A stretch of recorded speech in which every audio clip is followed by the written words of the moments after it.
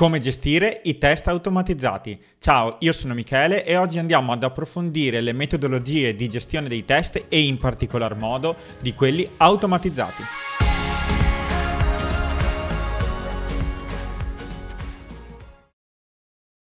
I test automatici rientrano nelle capability tecniche individuate dal Dora Core Model. Eccole qui, le troviamo qui. Test automation, per quanto mi riguarda, ok, questo non è un elenco ordinato, ma io lo sposterei sicuramente in alto. Andiamo quindi a vedere cosa si intende per perché si vuole investire, perché si deve investire in test automatici e quali sono gli errori più comuni. Per me una delle caratteristiche più importanti di un progetto software è che questo deve essere sostenibile. Lo scrivo qui, sostenibile. Significa non in ambito green come va tanto di moda e quindi deve inquinare poco e così via, mm, ovvero un basso impatto ambientale, ma io intendo che il progetto in sé deve essere sostenibile sia dal punto di vista tecnico e tecnologico, sia sostenibile come tempistiche di progetto dal punto di vista delle persone. Affinché un progetto, dal mio punto di vista, sia sostenibile, deve essere un progetto in cui ci posso lavorare senza impazzire nel lungo termine. È un progetto che la sua code base in questo caso concentriamoci sulla code base e sul tecnicismo perché poi potremo fare una serie di considerazioni su come il progetto stesso è gestito, ma rimaniamo più sul, eh, sul tecnico. Per essere gestibile sul lungo termine vuol dire che la mia code base, le mie tecnologie, la mia code base che io vado a creare, a costruire, a mantenere nel tempo deve essere facile il più facile possibile, perché facile in senso assoluto non, ma- non, lo è mai, il più facile possibile da continuare a modificare. E sarò ancora più specifico, perché modificare una code base in sé per sé è facile, basta aprire, modificare delle righe di codice e siamo a posto. In realtà la code base in questo momento è modificata, ma devo poterla modificare senza spaccarla e senza abbassarne la qualità e quindi senza introdurre regressioni o problemi per gli utenti finali, per i clienti. Per proteggerci da questa problematica che tocca un software da una parte e si spacca in maniera imprevista da un'altra, quindi per proteggerci da quelle che possono essere delle regressioni, ovviamente involontarie, non lo facciamo apposta, abbiamo solo uno ed un solo strumento. Questo strumento sono i test e eh, vado ad insistere che sono i test automatici, perché eh, è vero, eh, ci sono anche i test manuali, cioè io modifico il mio programma, poi i developer lo consegnano a un altro team o delegano i test manuali, qualcun altro installano in maniera manuale, automatizzata, l'ultima versione, quella appena prodotta da una qualche parte, e un team di persone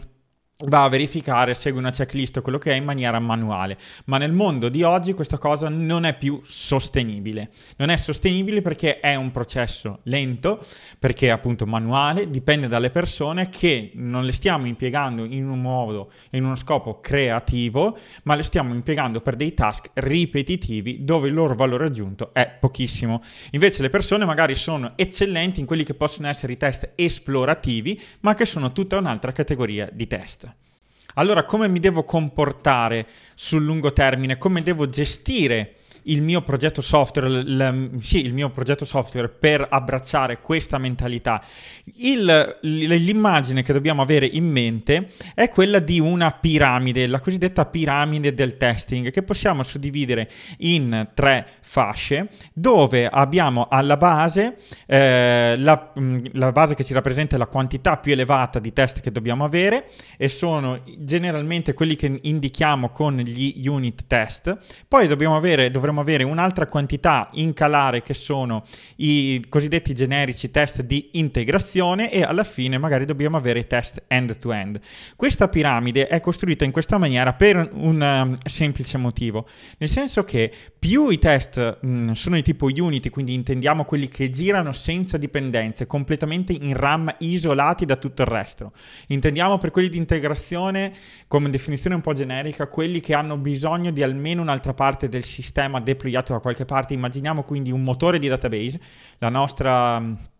i nostri binari più il sistema di database. Infine gli end-to-end sono quelli che magari hanno bisogno di tutto il sistema deployato da qualche parte e che testano anche eh, proprio usando il sistema magari con browser automation e così via. Okay? Quindi alla base della nostra piramide di test dobbiamo avere gli unit in grandissima quantità, appunto sono alla base perché sono i più economici da scrivere, sono facili, eh, si scrivono immediatamente vicino al codice, contestualmente mentre si scrive il codice di produzione e così via. Sono i più economici e sono quelli che ci danno il feedback più rapido perché girano direttamente nell'ambiente di sviluppo con mh, 3000 plugin ormai disponibili sul mercato, c'è di tutto che io posso eh, nel momento in cui scrivo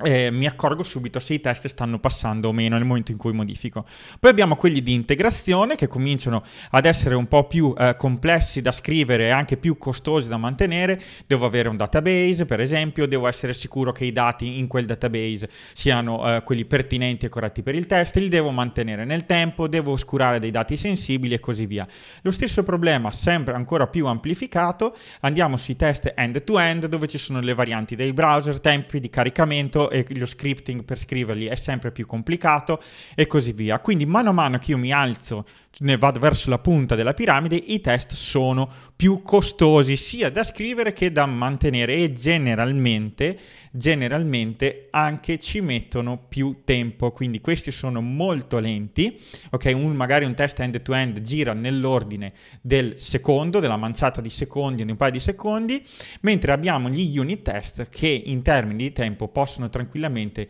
girare sotto i 100 millisecondi e quindi ne abbiamo tantissimi, girano velocissimi, si possono sfruttare tecnologie e tecniche di um, esecuzione parallela per cui effettivamente possiamo averne migliaia che girano nel giro di pochi minuti. Un'altra cosa che possiamo sempre tenere a mente quando andiamo a progettare, andare ad approcciarci al test in maniera strutturata è questa matrice di Brian Marik che ci eh, guida sulle tipologie di test in base alla tipologia di applicazione eh, business facing, magari tool interni, programmazione di eh, cose più interne, di supporto,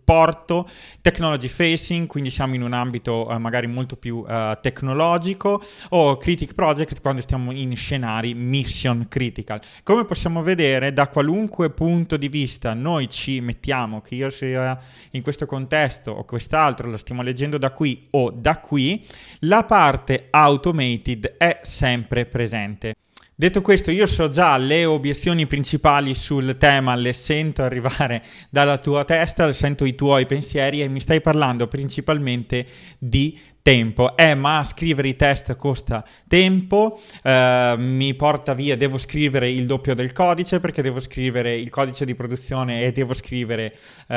anche il, il, test, quindi mettiamolo tranquillamente qui, codice 2 per, per così via, il tempo, eccetera. Sì, è assolutamente vero, nel senso che ci vuole più tempo, devo ovviamente scrivere più codice perché i test non si scrivono da soli, in particolare in questo caso io mi sto riferendo alla parte bassa di diciamo, della, eh, della piramide dove dovremmo, dovremmo andare ad avere, ad arricchire una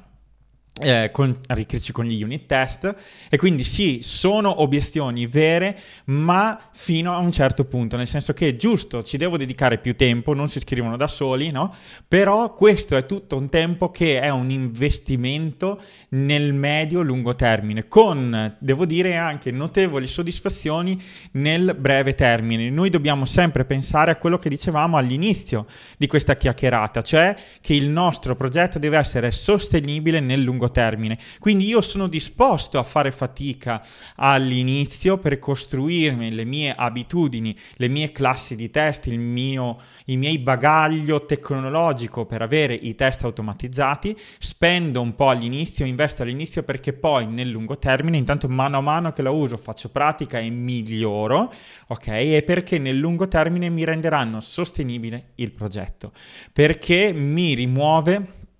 la paura. Quando io sono protetto dai test, posso affrontare tutta una serie di attività in un certo modo che prima non posso. Ciao ciao paura, perché se io sono protetto da un numero di test automatici, posso per esempio fare un refactoring di una classe o di un modulo, ho un problema di prestazioni, bene, cambio l'algoritmo, lo vedo, ai morsetti ho sempre dei test automatici che mi verificano che gli dati certi input, l'output è sempre lo stesso e se nel cambio di implementazione mi si rompe, cambio, mi perdo un comportamento, ci saranno i test che mi dicono guarda che qui non fun- cose non funzionano più come prima.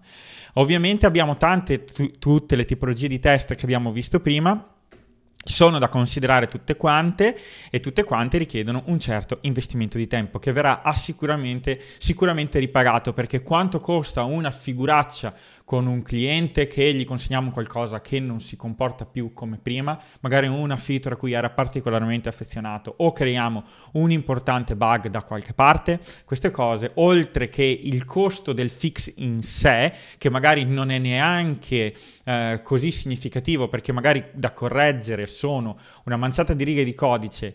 la diagnosi potrebbe essere un po' più lunga, ma stiamo parlando magari di qualche manciata di ore, però i termini di danni che io posso fare perché ho tirato giù un sistema mission critical o perché anche semplicemente di, riputa- di reputazione valgono tutti i soldi, tempo speso in un corretto approccio al test automatizzato. All'interno di tutta questa tematica c'è poi, ci, ci, ci sono delle eh, divisioni, ci sono chi, chi, fa TDD, cosiddetto TDD classico, ci sono eh, classic, ci sono i mockist verso, versus appunto i, i, classicisti tradizionalisti, c'è chi fa behavior driven development, c'è chi usa il gherkin, insomma le modalità di testing sono tante, parlarne in un video di una decina di minuti sarebbe impossibile, anche perché poi bisogna capire il proprio contesto e il proprio livello di maturità e le tecnologie con cui si ha eh, a che fare. Bene Michele, con i test automatizzati mi hai convinto, ma come posso iniziare, dato che sono completamente a digiuno di questo argomento molto complesso e vasto? Beh, il mio consiglio è quello di cominciare a partire scrivendo un test. Una cosa che ho implementato in vari contesti è quello di mettere nei team una regola nella definition of done, cioè prima di considerare uno sviluppo completato, di avere almeno un test automatico scritto tipicamente un test di unit. Questo anche solo agli inizi, per un certo versi, creerà dei terremoti, perché per esempio, a seconda della codebase, potrebbe essere una codebase o un punto della codebase che non è facilmente testabile e quindi va a scatenare delle logiche magari un po' di reingenierizzazione. Devo cambiare qualcosa, devo togliermi delle, me- delle classi statiche di mezzo, delle dipendenze direttamente in costruzione delle classi e così via. Quindi un consiglio molto potente ed estremamente estremamente facile da implementare è quello di incominciare ad implementarne almeno uno. Implementa un test automatico. Dopodiché un altro step potrebbe essere quello di fare dei placeholder in tutti i processi automatizzati, quindi se fai continuous integration, continuous deployment e così via, cominciare a prevedere i punti dove i test automatizzati per ognuno per la propria categoria cominceranno ad essere eseguiti. E l'obiettivo è quello di averne uno per ogni tipologia, quindi uno unit, un test integration in un punto che deve essere eseguito, un test end-to-end e così via un po' alla volta si va ad incrementare la test coverage. Il team un, all'inizio non, sen- non, sarà ingessato perché non si punta ad avere i test per tutto subito, ma con costruire un piccolo test per volta il team comincerà a prendere confidenza. Inoltre, un'altra cosa che potrebbe essere interessante è quella di eh, quando arriva un bug arriva un bug da correggere, un difetto, si riproduce il comportamento tramite eh, un test che sarà rosso e dopodiché si cambia l'implementazione, il test diventa verde e a quel punto abbiamo fatto un piccolo passo in avanti nella nostra code coverage e test automatizzati.